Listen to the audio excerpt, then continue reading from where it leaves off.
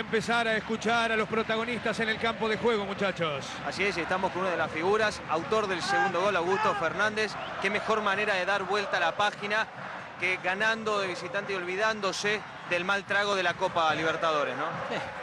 La verdad que, suma, más allá de que, de que, suman en los puntos, porque matemáticamente todavía, todavía da la, posibilidad, nosotros lo, tomamos más que nada para, para, una, remontada anímica. Un golpe duro contra el Santos, yo creo que inmerecido. Creo que era fundamental levantarse y, como dije recién, escalar posiciones también sabiendo que, faltan nueve puntos. ¿A qué atribuís esto de que Vélez le sienta mejor en este campeonato jugar de visitante? Van invictos. Sí, es raro, es raro porque siempre fuimos fuertes de, local. Bueno, eh, haciendo la autocrítica es algo que hay que, hay que recuperar sabiendo que, que de visitante estamos bien, hemos sumado mucho, así que, es algo a mejorar y esperemos que, empecemos el, fin de semana que viene, bueno, no, el otro contra, contra Rafaela. Augusto, ¿la fe intacta para alcanzar a Boca? ¿Cómo, cómo? ¿La fe intacta para alcanzar a Boca? Matemáticamente falta, eh, tenemos posibilidades, sabemos que Boca está muy bien, pero bueno, tiene que jugar eh, Copa, tiene que jugar eh, Copa Libertadores, Copa Argentina y bueno. La prioridad nuestra es avanzar escalón por escalón y de a poco. Después ojalá nos dé para, para llegar con posibilidades. Está llegando el final del campeonato y se habla de si Gareca sigue, no sigue. ¿Ustedes qué quieren? ¿Qué piensan? A ver, yo creo que, es una decisión que, va a tener que tomar Ricardo. Eh, pero bueno, yo creo que, todos, ni uno te va a decir que no, todos estamos hace rato con él, no solo con él, sino con el cuerpo técnico y, la verdad que, son bárbaros. Ojalá, ojalá que siga mucho tiempo más en Vélez. Augusto Fernández, felicitaciones y muchas gracias. Bueno, hasta luego, gracias. Augusto Fernández. Una de las figuras, indudablemente, de este Vélez Arfiel, el que hizo el segundo gol para asegurar el partido. Seguimos hablando con jugadores de Vélez.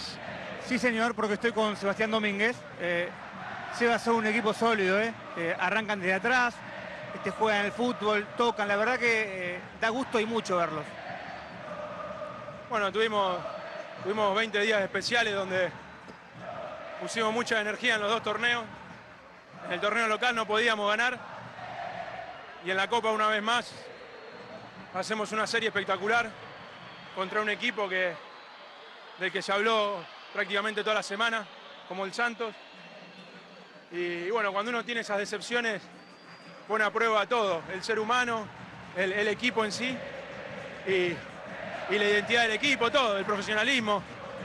Y bueno, para la gente que viajó, que, que nos sigue apoyando, para toda la gente de Vélez que siempre cree en este grupo y para nosotros mismos necesitábamos ganar hoy y lo conseguimos, así que eh, estamos lejos en el campeonato, pero hasta donde podamos vamos a dar pelea. Y se nota, y claro está, que son un equipo y que son un buen grupo. Eh, hablas del campeonato, ¿ya no llegan, no acortan esa, esa brecha de cinco puntos que tienen contra Boca?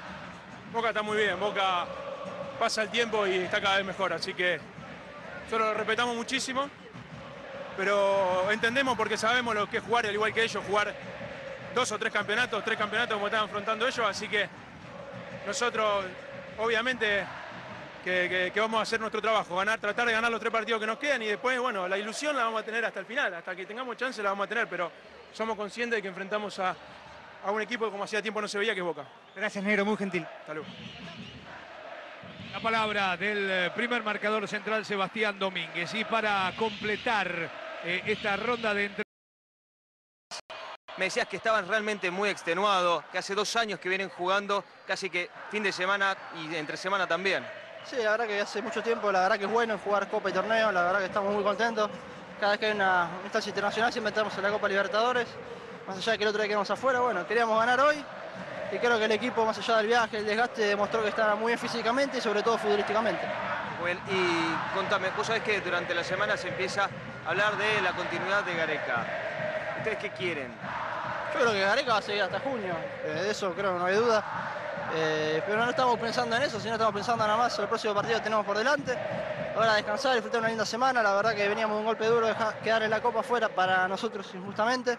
Y bueno, pudimos ganar, darnos una victoria para nosotros, para nuestra familia, para toda la gente que nos vino a alentar. Y bueno, a disfrutar esta semana que el fin de semana no, no hay partido.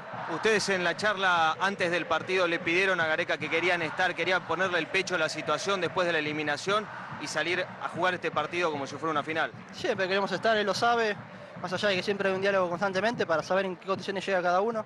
Y bueno, la verdad que hoy puso prácticamente a todos los jugadores, salvo los que estuvieron lesionados como Cabral o Tito, o Tito Cantero se lesionó.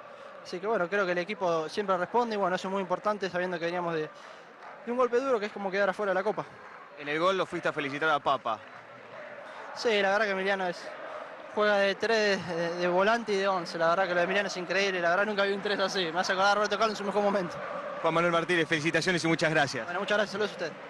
Juan Manuel Martínez, entonces, goleador de Vélez hoy. Bien, chicos, bueno, pavada de elogio, ¿no?